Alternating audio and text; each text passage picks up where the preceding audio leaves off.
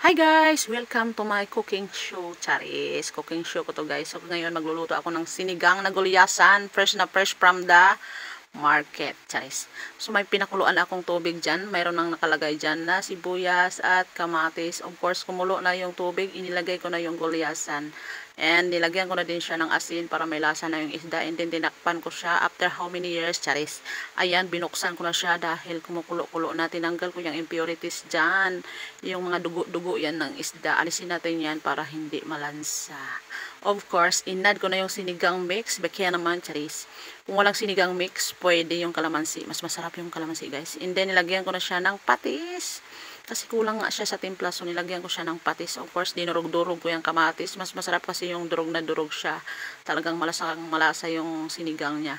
So, dalawang kamatis lang nilagay ko dyan, guys. Sa sobrang mahal ng kamatis ngayon, mapapaisip ka na lang na huwag ka na lang maglagay ng kamatis. Ganon.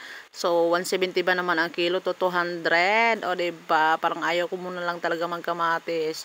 Siyempre, hindi makukompleto ang sinigang kung walang kamatis. Kaya, magtitiis tayo. Saris. So, inad ko na nga yung siling haba dyan, of course. Inad ko na yung kangkong.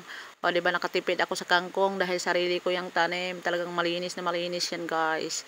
Wala kang masasabi talaga, charis. So, hinalo-halo ko na yan. So, inap na yan, guys. Luto na yung aking sinigang na gulyasan ala Nura version. So, ano lang available na gulay, guys. Kulang yan sa gulay. Pero okay na yan. Masarap na yan. So, yun lang. Thank you for watching.